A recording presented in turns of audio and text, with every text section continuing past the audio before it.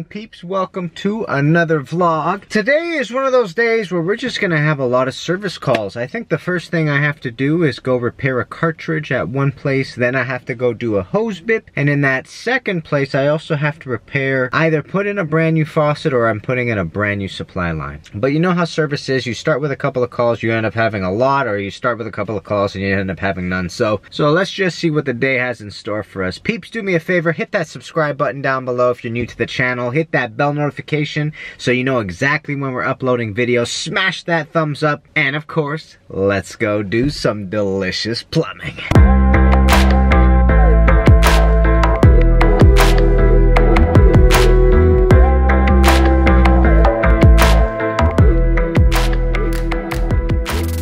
Peeps, in this first job, the biggest concern I always have when putting in a new cartridge is if I can get the old one out smoothly. This right here is a Delta cartridge, and not to jinx myself, but I only have had smooth experiences with them.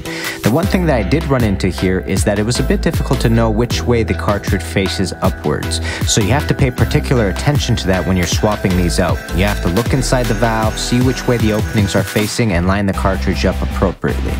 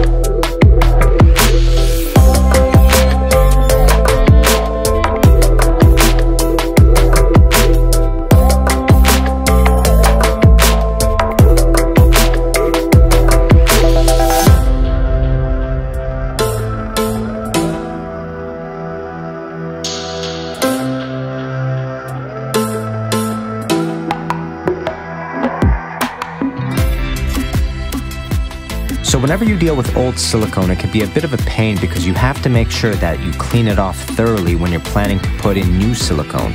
You see, new silicone will not stick to old silicone, so your seal will be suspect at best. Secondly, if you opt to not put in new silicone after you cut the old silicone, then you're leaving room for water to find its way in. So the best chance to seal the area is to clean the old silicone off thoroughly from the tile and the trim plate and then lay a new bead.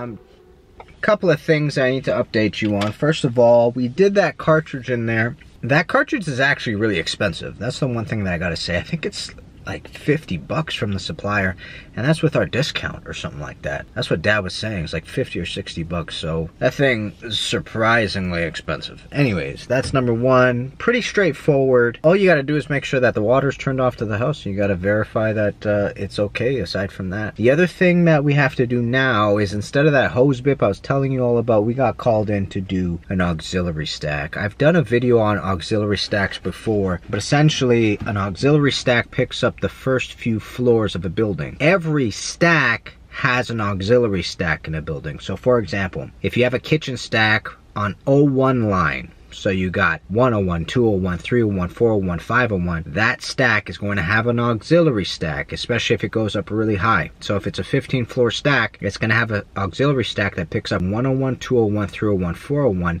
and then 501 will be a brand new stack. And the reason why they do that is because the first four floors of a building usually are prone to a couple of different things. Number one, the 90 that goes from vertical to horizontal gets clogged. The first few floors get trash. The other one, the other thing is, is that 90, it's, it's known to be the big pressure zone.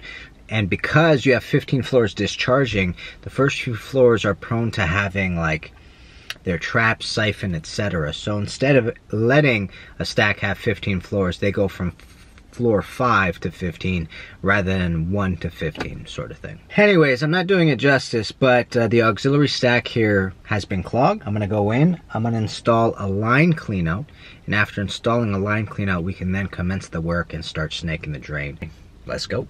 So in the Ontario Plumbing Code Book 7471 subsection 10, a cleanout shall be installed on a fixture drain serving a kitchen sink as close as practical to the trap outlet and shall be readily accessible. So right here, this code stipulates that every kitchen drain requires a cleanout with these specifications, but I've noticed over my career that many kitchen drains, especially in older buildings, are lacking one. So whenever we are snaking kitchen drains, you will notice that I'm always attempting to install a clean out, and here's the reason why. Imagine for a second sending a snake into a dry drain with no water inside. What will happen is you will eventually reach the clog, you will disturb the clog, and maybe even break through the clog. But in some circumstances that I've seen firsthand, when you pull the snake out and then start running the water, it sometimes clogs again because it has opportunity to accumulate all the debris again. However, if you install a cleanout, you can now pressurize the drain and fill it up with water so that upon breaking through the clog, two things happen. Number one, you're able to see that you unclogged the drain, and you're able to calculate how far the clog was from you. And then number two, the water provides pressure and immediately pushes the debris further into the drain, ensuring its passage to the sewer. By then leaving the water running, you are able to wash the drain as you continue snaking. And lastly, it also allows you to know if the drain clogs up again because water will start coming out of the cleanout again. So in other words, a cleanout also helps in giving you more data and understanding how the drain is reacting to what you're doing. I think one of the best advantages to having the clean out and running the water at the end of the drain call is also it simultaneously is cleaning the snake as it's coming back out. That way you don't have to wash it later on. So really there are a lot of advantages to using a clean out and having it. So it's one of those codes that we really stick by as service plumbers. I hope this was useful to you. Peeps, thanks for watching. Do me a favor, hit that subscribe button down below if you haven't already and that bell notification. We're trying to get to 10k as I said before and, and we are so close to getting it. We just need a few more of you to commit to the channel. Like, subscribe, and comment, and I'll see you plumbers very soon. Kenny Molotov, guys. Peace, baby.